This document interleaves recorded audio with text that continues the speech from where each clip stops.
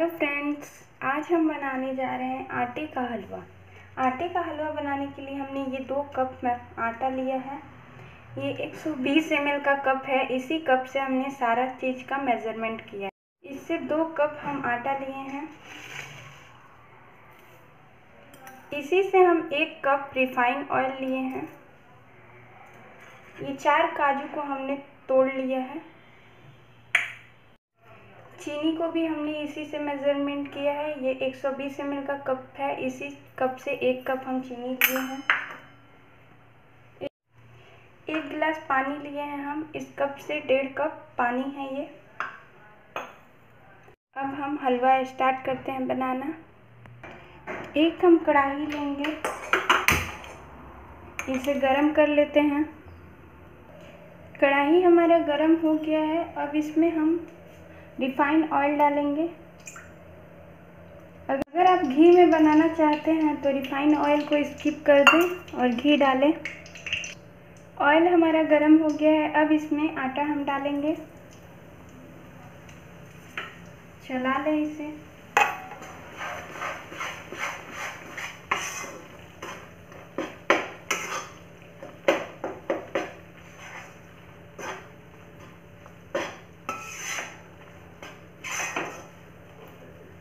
ये देखिए, हमने अच्छे से मिला लिया है। अब इसे गोल्डन ब्राउन तक एकदम फ्राई कर लें अच्छे से मतलब ऐसे एकदम दबा दबा के फ्राई कर लें इसे अच्छे से, कि इसमें कोई लम्ब ना रहे।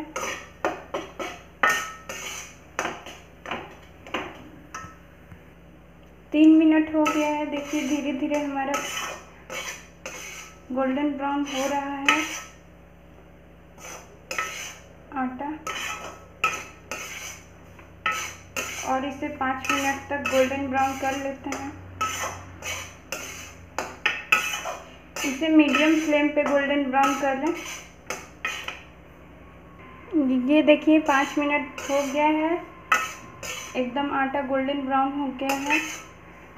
अब गैस को एकदम लो कर देंगे। और इसमें चीनी डालेंगे पहले। चला लें इसे।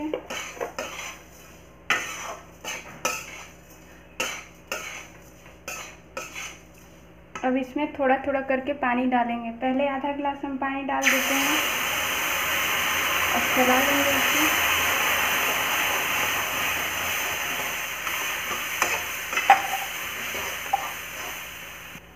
और इसमें हम पानी आधा गिलास डाल देंगे। अब इसे अच्छे से चला लेते हैं।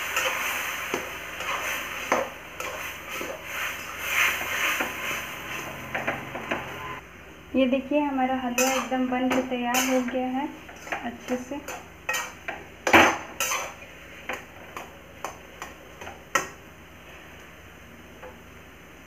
अब इसमें हम एक चम्मच बटर डालेंगे। ये देखिए, छोटा चम्मच से हम एक चम्मच बटर डाला है।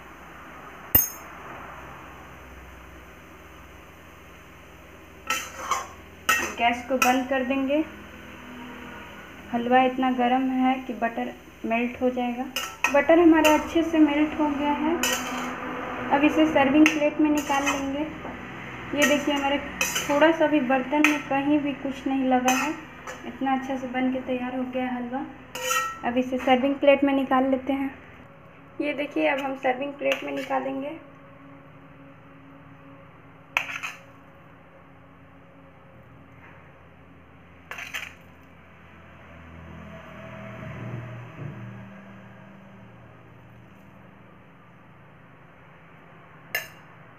ये देखिए, हमने सर्विंग प्लेट में निकाल लिया है। अब इस पर हम जो काजू थे, वो डाल देंगे। ये देखिए, हमने सर्विंग प्लेट में निकाल लिया है। अच्छा लग रहा है ना देखने में कितना।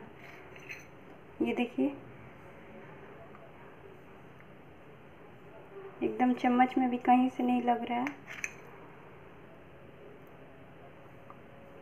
अगर हमारा आटा का हलवा पसंद आए तो मेरे चैनल को लाइक करें, सब्सक्राइब करें, बेल आइकन का बटन दबाना ना भूलें।